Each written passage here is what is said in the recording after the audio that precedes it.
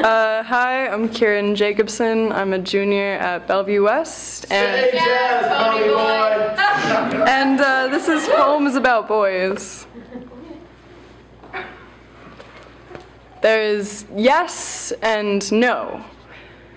Sometimes you find that over extended periods there is, I guess so, there is inevitability, there is relentless waves carving their agenda into seaside rocks, slowly but with the surety of one who will get what they want.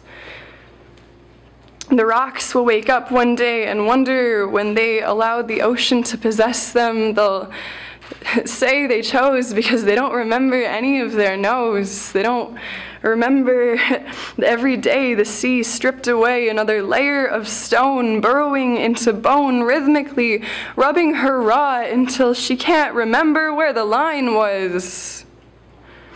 The sea will state that it isn't his fault, it's just nature. The moon made him do it. I stand solid as stoned, but you have stamina like I have never encountered before, pushing harder and harder, further and further, millimeters at a time. I wake up in the morning and find you embedded inside me.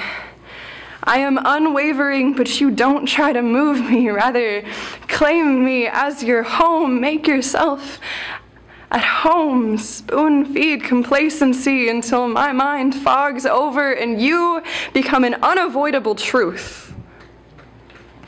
Some days the current carries you away to unknown islands in need of swallowing. Her sandy cliffs are constant that she will always be there, that he can always come back to take. The tide temporarily retreats, showing parts of the shore that only exist it, that only get to exist when the ocean isn't there.